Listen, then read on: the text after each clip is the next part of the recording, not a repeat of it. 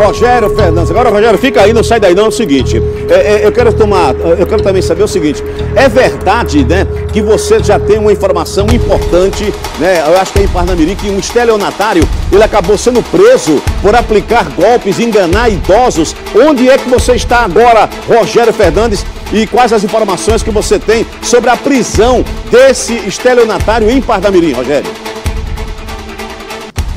Pois é, nós estamos aqui na 18ª Delegacia de Polícia, Nova Parnamirim, antiga segunda DP, e esse homem foi preso hoje pela manhã por Polícia Militar, terceiro batalhão, né, sargento? Terceiro batalhão que fez essa prisão e a, acusação é de estelionato. Ele saiu usando uma espécie de maquineta.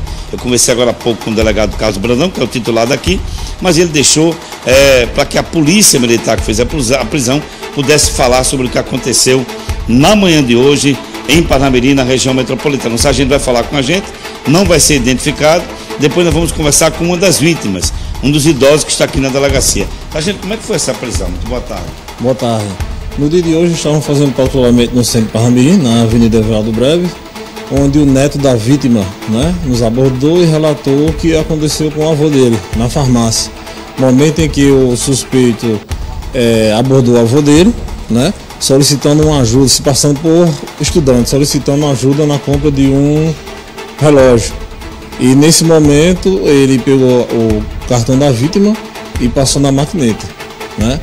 Após isso aí o neto em casa verificou várias, várias compras, várias compras no, no celular, chegando mensagem de várias compras. E tinha acontecido há pouco tempo, teria sido por aquele homem. Isso, diante disso fizemos patrulhamento e identificamos o suspeito no local ainda.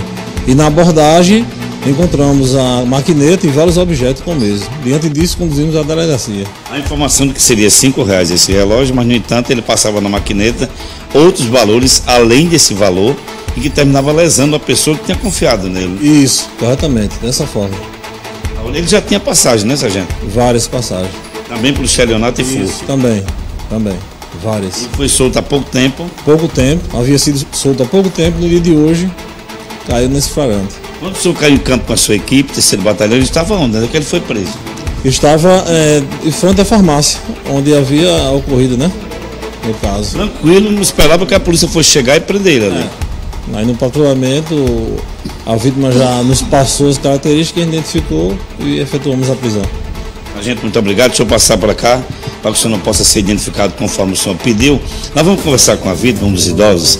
É a informação de que eu conversei agora há pouco com o Carlos Brandão, que é o delegado titular aqui da segunda, da 18ª DP, antiga segunda DP, em Nova Panamirim, e ele disse que ele foi preso já por estelionato, por furtos, ele foi identificado por Jean Oliveira da Silva, se passava por estudante e pedindo uma ajuda para comprar um reloginho por cinco reais. No entanto, segundo a polícia, esses valores eram acrescentados numa espécie de maquineta que ele estaria utilizando, segundo foi passado agora há pouco pela polícia. Um das vítimas está aqui, não, também não será identificado, essa pessoa é um idoso também que estava no centro de Parnamirim e que também passou pelo processo. O que foi que ele chegou a afirmar para o senhor? Ele chegou para mim pedindo uma ajuda, que era estudante e não podia receber dinheiro e peguei, eu pude meu cartão para ele passar na, na máquina. Só que eu desconfiei porque ele não deu o comprovante. E automaticamente, peraí que eu estou passando aqui, passou o celular, já jogou para frente e fez uma outra compra de 80 reais. Com, deve ter sido com a ceia. Ele disse, não estou mandando aqui para o seu celular. Quer dizer, automaticamente ele fazia uma coisa e fazia outra em seguida. Quer dizer, só foi uma vez que eu desconfiei, na hora que ele disse assim, espera aí que eu vou dar já, vou mandar para o seu celular. Eu digo, não, a máquina tem que me dar um comprovante. Se a máquina não deu comprovante, está errado. Aí foi desconfiar. Aí chega um outro senhor, um neto, dizendo que ele tinha feito sei quantas compras, porque ele pegou o cartão dele duas vezes, vendendo um relógio que não vale nem cinco.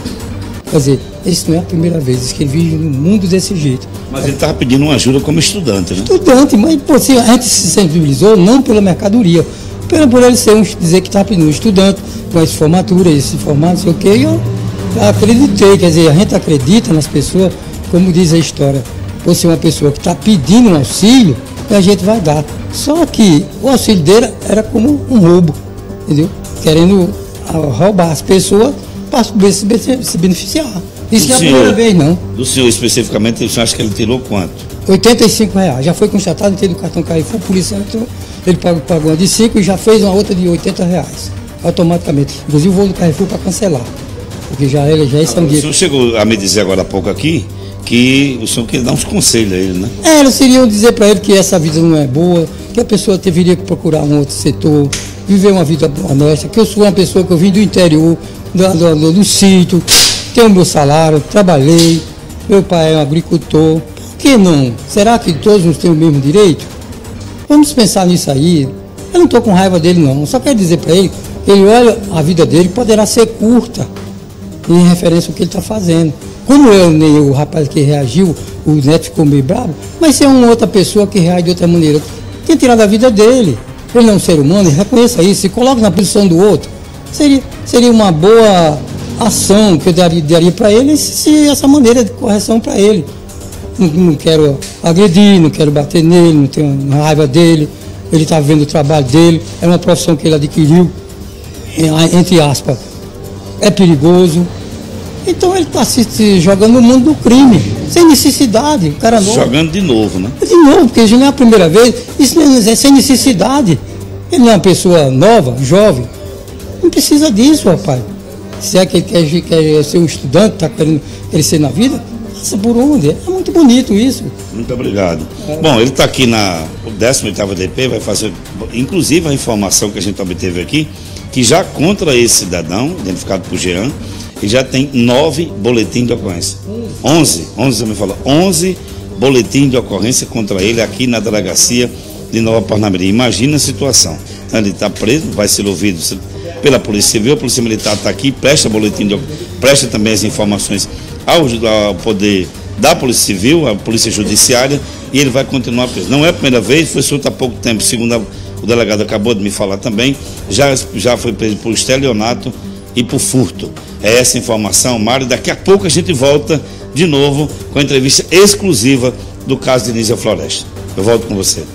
Eita, Rogério Fernandes, obrigado pelas informações, essa entrevista aí, né? Com uma das vítimas desse estelionatário em Parnamirim, rapaz. O cara aplicando golpe, né? Nos idosos, vendendo um relógio que não custa nem cinco reais, segundo falou a vítima aí.